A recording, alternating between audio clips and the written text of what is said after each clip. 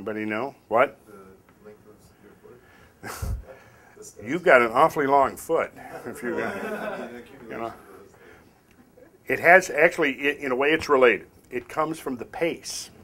The pace. The word mile. The word mile comes from the Latin mil, as in millimeter, milligram. What does it mean? What does mil mean in Latin? Thousand. Yeah, good. So a thousand paces is what where we get the mile from. So there was a Roman mile, and the Roman mile was somewhat shorter than the British mile, which is the one we still use here in America. The one we use here in America, if you think about it, take the number of feet in a mile, which is how many? Good, 5,280. You divide that by 1,000, and you get 5.28. 5.28 then was the average length of the human pace that was a thousand of which gave us the mile. and again, I don't think we'll have time to get into that tonight, but I've got a whole program where I show the origins of these ancient systems of measurement, and we can see that the mile was almost certainly being used in England 3,000, 4,000 years ago. It's at least that old. For example, the outer rim of the stone circle at Stonehenge is 105.6 feet. Go 105.6 and multiply by 5. 528 feet, right? So, in other words, one tenth of a mile. The, the outer diameter of the sarsen stone ring of Stonehenge is precisely one tenth of a mile. So, we can find examples like that, and from those examples, we can know that these people were using a, a unit of measurement that long ago, perhaps the builders of Stonehenge using a unit of measurement that we're still using today. That's very interesting.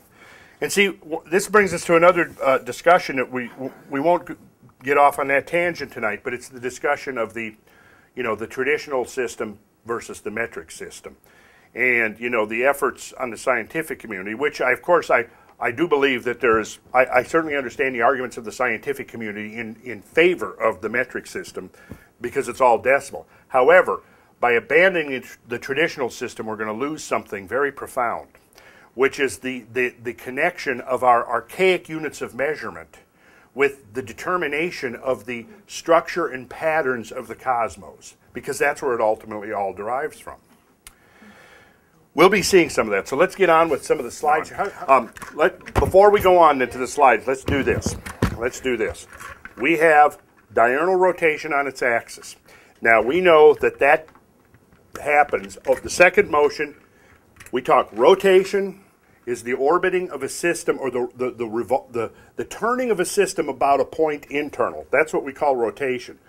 The the turning about a point external is called a revolution. We're talking about a planet that rotates on its axis but revolves about the sun. So rotation on its axis gives us the day, the revolution about the sun gives us the year. We know that one revolution around the sun back to the same starting position, the Earth has not turned an even number of times, has it? It's turned 365 and roughly one quarter times around. Well, it's interesting that if you begin studying the ancient calendars from all over the world, we find something very consistent happening. The belief that the year was once 360 days long. The Sumerians, in fact, who are generally attributed with the origin of the what we call the sexagesimal division of a circle, were the ones who originated the 360 degrees in a circle, 360 degrees, and their belief was that at some unnamed point in the distant past, the length of the year was greater. The way I look at that is I, I don't necessarily think we have to take that as being literally true, because when one begins to study these arcane traditions and the sacred traditions, what you begin to realize, for example, like sacred geometry, that basically shows us there is a, a pattern to all things, whether it's spatial relations or temporal relations. Sacred geometry teaches that there's a, a set of unifying patterns that links all of this together. And so, um, what happens is that we begin to see these patterns unfolding on a, one level, on a human level. By seeing those patterns on the, the micro scale, we can understand those patterns on the larger scale, which are reflections of the smaller ones. So we have a relationship, a basic relationship, 360 to 1. We'll call that, in fact, some of the ancient cultures actually ran two calendars. They had their secular calendar or their civil calendar. They also had their sacred calendar. The civil calendar would mark the actual year, the imperfect year. The sacred calendar would mark the perfect year of 360 days. So then, if you think about the orbit of the Earth around the Sun, turning 360 times on its axis precisely, now that defines that circle, the cosmic circle, divided into exactly 360 degrees. And you have a one to one correlation. The way I perceive it essentially is that behind all manifest creation, there is a divine pattern. Being a builder, I think in terms of blueprints. And I know that when you sit down, when you go out to do a, a building project, you have a set of blueprints, and you work from those blueprints, and the objective is to duplicate those blueprints, those plans, as close as possible. And of course, the higher the degree of craftsmanship, the, the closer is your approximation going to be to the, the idealized plans that are on the paper, right? You build it, there's going to be some measure of imperfection that finds its way in no matter how good of a craftsman you are. And then, of course, over time, you know, the vagaries of, of time are going to wear on the, the structure. And over time, it's going to begin to deviate more and more, slightly at first, and then at an accelerating pace, it's going to deviate from the idealized pattern. Well, when you study sacred geometry, you realize that you, see that what you're actually studying is, is the idealized, the teleological pattern behind all of manifested creation. That's the first step, is to understand that pattern. Then from there, you can then begin to see, oh yes, okay, I can see how the orbit of Jupiter almost hits it. I can see how the the, the, the, the mass of the planets almost hit it. Some of them will hit it exactly on, others will deviate a little more or less. The same idea with the golden section and the measure of the, of the human anatomy. We discovered that the, how many of you have heard of the golden section?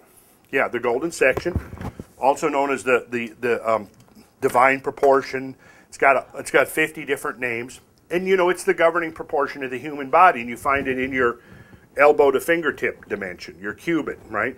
If you find that space in your wrist, that hole right there, you'll feel there's a hole in the top of your wrist.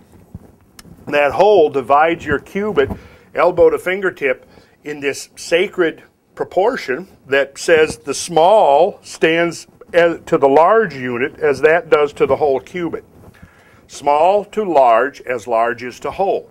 That is the essentially the governing ratio for the human form. It's also found throughout all orders of nature it was utilized by artists, architects, musicians. I know various composers like Bartok were very much into, um, you know, composing pieces that, that, that incorporated those particular ratios. Um, likewise with the patterns of sacred geometry. Um, if you start looking throughout the natural world, you can begin to find very close approximations of many of these relationships. If you look at the the human world of art and architecture and so forth, you can begin to find those. What we're going to be talking to tonight, though, is primarily having to do with the these cycle, uh, these patterns and proportions as they relate to the passage of time. And here we have to understand that the archaic view of the passage of time was cyclical. It wasn't linear. It was cyclical. And so we, of course, conceive of cycles. When we talk about this, we're talking about a cycle. When we talk about this, we're talking about a cycle. And clearly, the day night cycle governs all aspects of our lives. The yearly cycle governs all aspects of our lives. Less say less now than for our ancestors, but for more quote unquote primitive cultures around the planet, it's still are, they're totally integrated with the natural cycles. That is part of our loss is that we have become disconnected to the point where you know we're not even hardly aware of the sky anymore. I mean, particularly living in an urban area, people don't know how to recognize the star patterns anymore. Um, the plane of the ecliptic, or the celestial equator, or the the the um, the celestial pole. All of these things that ancient peoples, whether they understood it in a scientific sense or not, they certainly understood it in the personal sense.